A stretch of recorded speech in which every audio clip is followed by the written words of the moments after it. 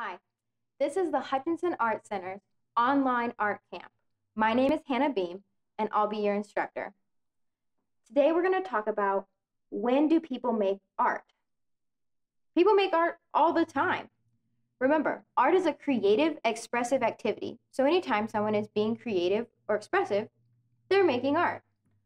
Sometimes artists who are professionals make art when they go to work because their job is to make art.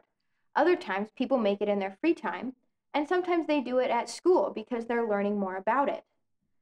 A lot of times, people will make art when they see, think, or feel something new or different. Sometimes they make art to investigate or learn something new, and that's what we're going to focus on today. Today, we're going to look at three different materials oil pastels, crayons, and colored pencils. These materials have a lot of qualities in common with each other, but they're also really different. So, the art we make today is going to be more about investigating and learning. It's going to be more about the process. Art doesn't always have to be really pretty. Sometimes art is messy and fun. So, today we're going to be focusing on exploring something new instead of eh, focusing on making something really pretty. But it can come out kind of pretty anyway. I kind of like how these pages came out. So over here, I have colored pencils, oil pastels, and crayons. I experimented with coloring hard and coloring soft, and I experimented with scribbling and drawing and how they make different kinds of lines. I also experimented with that on black paper. I have colored pencils, oil pastels, and crayons, and got some pretty interesting results with that. I tested how well they blend together with crayons, oil pastels, and colored pencils. And I also practiced to see how they layer with each other.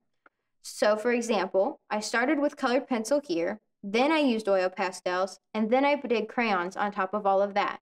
Each one of these has a different order that I used with those materials to try to see which combination would work the best if I wanted to use all of these materials together. I personally like how colored pencils, then crayons, then oil pastels came out with this one. But overall, I think the page still has a really interesting look to it. So you can make something that looks really cool and interesting just by trying to investigate and learn. So, I'm going to kind of show you these materials and talk about their qualities a little bit. And then you can do some investigating on your own with these materials, or if you have different art materials that you want to test out to find their similarities and differences, you can test that out too. Move these up a little bit here. So with all of mine, I started out by folding my paper in thirds since I'm testing out three different materials. So I just kind of gently wrap it together until it's about even. So I'll try to hold that up so you can see it's just kind of wrapped. And then just press it down. And that'll give you three roughly even areas that you can do your experimenting in if you want to do them all on one paper. You could also just use three different papers to do this also. So I have my three sections. I'm going to use a colored pencil to outline them so you can see them really well. And I'll start exploring some things with these materials. I'll start with colored pencils over here. Colored pencil. I'll label these ones so you can see which is which. So there's colored pencil. Have oil pastel. And let's see, do I have a black crayon? Think this one might be black. Yep, there we go. Crayon. So even by labeling the page, you can see some pretty big differences and similarities between these media. Oil pastel and crayon both kind of have an interesting texture when you draw or write with them, whereas colored pencils are pretty smooth and thin, at least when they're nice and sharp. If your colored pencil is dull, it might look more like one of these two and give you a thicker, more textured line. So let's see. I'm going to start with some red. It's kind of, I guess it's more of a pink. Pinky red color. And I'm going to start by coloring soft. So I'm just really lightly adding some color here. Then I'm going to do a section where I color hard. So I'm pushing down a lot more to get my color. And I might even, you could even do a second layer on part of this to see how well it works layering on top of itself. I'll do that on the soft side too. So coloring soft, coloring hard. Maybe you could even draw a shape and see how it is to fill in that shape with coloring. I kind of did medium pressure on that one. Let's try something similar with oil pastels. I'm going to try to use a similar color because I want to see how colors are different between each of them too. So this is kind of a pinky red color also. So I'll color soft on this one, barely any pressure, and it's a lot darker than the colored pencil. And I'll color harder with more pressure. And it definitely gets me a more solid look. And it is still darker than this one, but both are darker than this one.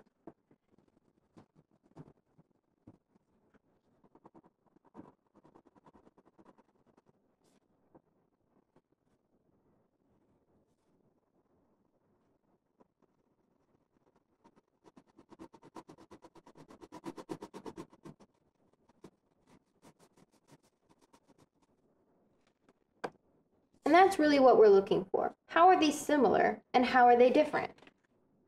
Let's use a crayon now.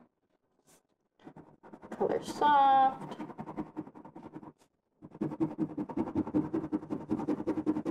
Color hard. Maybe try some layering. And what happens when we draw a picture?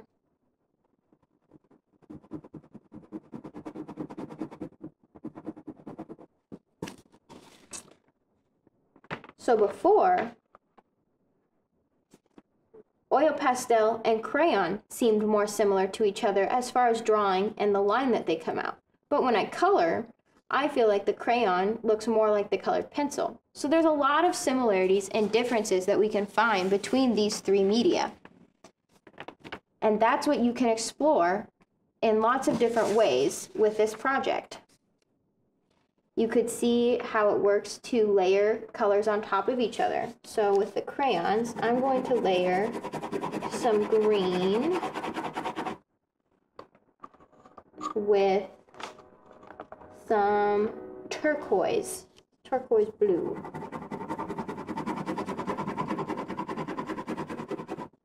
And I'm going to work back and forth with these to see if they really blend well together or if they kind of mix or how it works.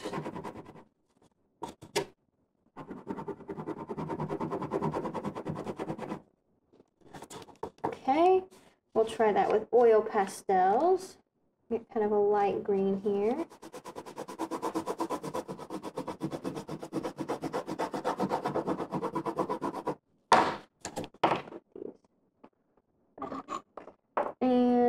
turquoise kind of blue. That maybe this one. Let's see. Yeah, that'll work.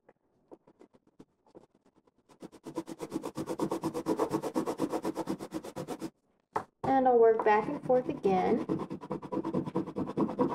These ones I'm noticing mix better together than the crayons did. They blend more. But they also have a lot of texture. Interesting.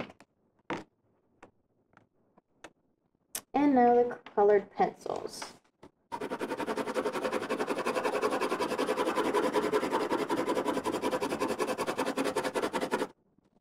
Green. Don't have much of a turquoise, so we'll use more of a blue.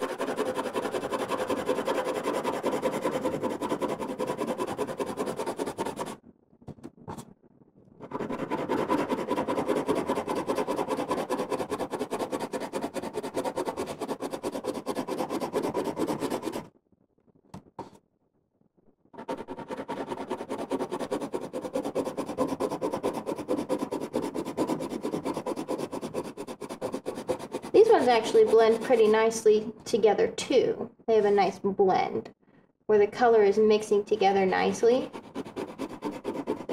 and smooth.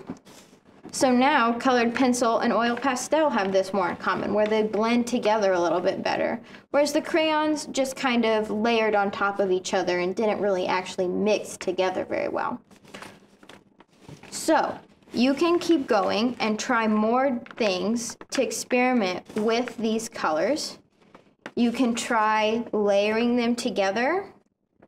You just start with each if you do if you practice with layering the three materials you'll have two that start the same every time so i have two that start with colored pencil two that start with oil pastel and two that start with crayon and then you just swap out the order of the next two so then i did oil pastel and crayons or crayons and oil pastels and you can get a whole wide variety of ways that you can layer these together you could do the same thing and practice how they layer with different colors. Does it work better to use green first or blue first? You could see how well the colors blend together in this way too, where you do like a whole rainbow of colors instead of just two colors on top of each other. But essentially this practice and this practice are kind of the same, just with a more limited palette or a more expanded palette. You could also see how these materials work on different colored paper. Would it be different if this was on blue or green or red paper? You could try something like that too. This page is pretty similar to what we were practicing here, but I did more with lines and coloring hard and soft. And I used more colors too to see what how the colors were similar and different. So you could test all the colors and see how all the colors compare to each other too. As long as you're practicing and investigating these materials, you'll be making art and learning more, and maybe it'll even give you an idea for a future project. So, remember, artists make things when they see, think, or feel something new, different, or important, but they also make art to learn and investigate. So, I hope you have fun creating today.